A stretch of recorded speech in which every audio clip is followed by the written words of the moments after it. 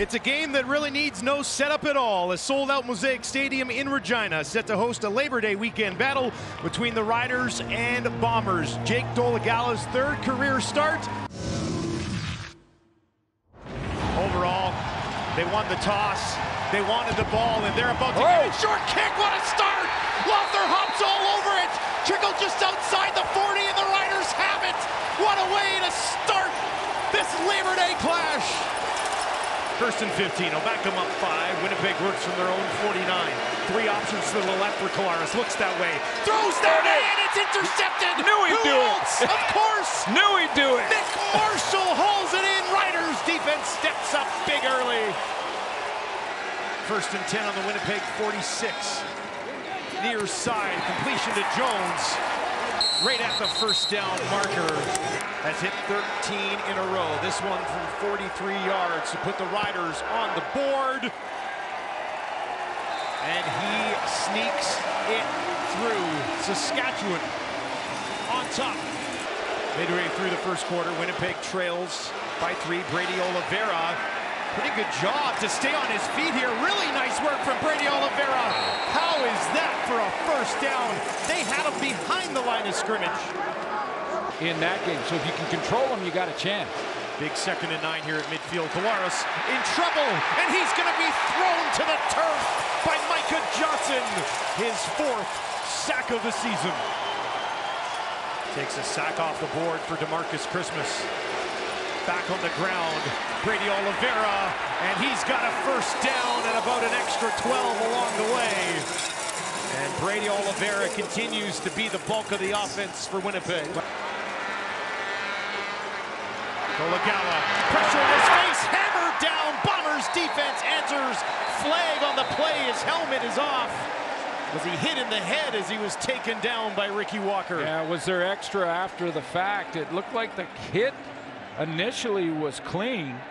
Cameron Lawson in there as well. It was Walker and Lawson, 9 and 99. Ooh. We have major foul, unnecessary roughness, Winnipeg number nine. It's a 15-yard penalty. It's going to be an automatic first down, and it's the end of the quarter. It's the end of the quarter. Right there. Well, head-to-head contact, leading with the they they called nine. in place of Nichols. Dolegala pressured, hit as he throws, has a completion to Jones, and a ton of room. Tevin Jones up to the 40, now to midfield, finding some space, and he's still on his feet. How about that for yards after the catch? Tevin Jones, biggest play of the ball game. They'll do it again. Pipkin, can he finish it this time? Pushing straight ahead. Touchdown Riders!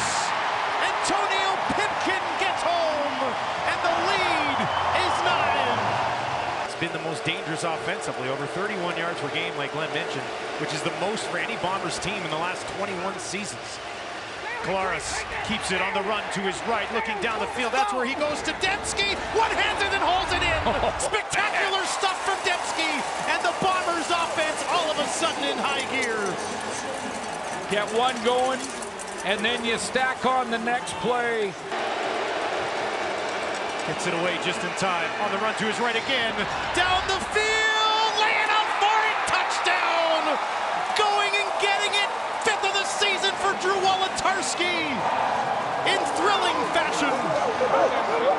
Sigh of relief from Bombers fans. Dolegala. Second and seven. Far side. Drops that one in there just in time. And it's held on to by Emelis. His first catch of the game late here in the second quarter. Deeper earlier in this game. He's at 14 in a row now. 27 yarder from just inside the right hash. No mistake about it. Knocks it home. And the lead sits at six with 90 seconds left. First and 10. Bighill's going to come right up the middle. Dolegala spins away. Now he's taken down. Stayed alive for an extra moment. But the Bombers were hungry and got there. Second and 13, four options to the wide side left here for Dolegala. In trouble, taken down. Adam Bighill with his second sack of the ball game. Break to the upfield shoulder. If you feel like you can get it, use your IQ cut underneath. Finally, some space for Morrow, right up the middle for a first down inside the 25 before he's eventually taken down by Demerio Houston. On that ball, Lauther knocks another one through. 16 in a row, close to 32 per game. Collaros looking for some of these points here. Escapes. Now he's going to send one way down the field for Demski. Lays down, tries to get it, and he does. Nick Demski inside the five. There's the big play to number 10. From the Saskatchewan three-yard line, Prukop hands it off. Oliveira walks it in. Touchdown, Winnipeg. And they creep closer. Brady Oliveira finds the end zone. Fifth rushing touchdown of the year. Oh. Dolegala in trouble. Stays on his feet, finds his running back. Jamal Morrow looking for space. Near side. And he's got a first down. Not exactly how they drew it up, but it works. From just inside the left hash on Labor Day for Lauther. That one is up, and it is good with room Money. to spare. Brett Lauther remains red hot. 17 straight field goals. Collaros on the run to his right, over the middle, drops it in there. Wide open is Schoen inside the 20. And a quick drive coming together for Winnipeg. Will Castillo, a chip shot here just shy of 93% so far this season. No problem. And we've got a two-point ball game, down three. Collaros over the middle, has a man at the 10. Staying on his feet, still going is Schoen, and eventually Larry Dean has enough. Collaros keeps it, gets it away, incomplete, might have been deflected at the line, and that brings up third down. Collaros still after- down on one knee. Well, after the throw, I, it looked like a rider. It looked like what it might have been a linebacker who almost headbutted him. And now here's a late flag. After the play, we have a major foul. Unnecessary roughness. Saskatchewan, number 45. We're going to go up half the distance. It's going to be first down for Winnipeg. So the flag has been thrown on this play.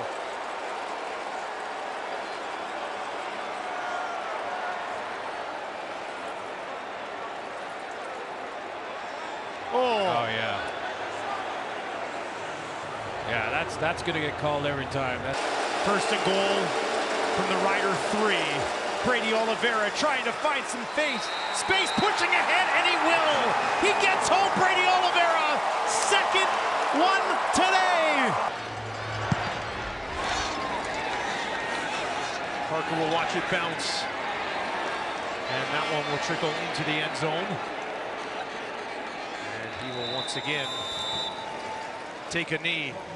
Lauther hammers it through, and we are dead locked at 24 with 31 seconds on the clock. Riders and Bombers living up to the hype. Jake Dolegala looks for more here, gets it away again, tucks it into the 10 towards the end zone. Stopped just short.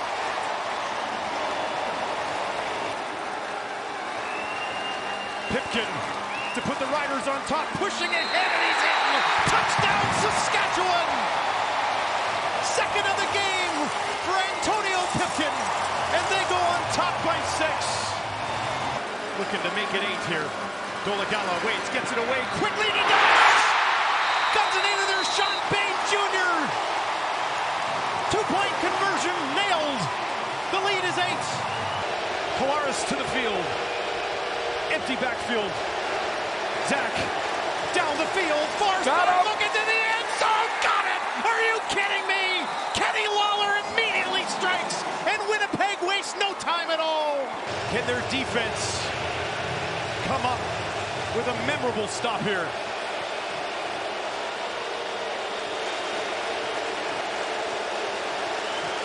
Collaros to keep this game alive.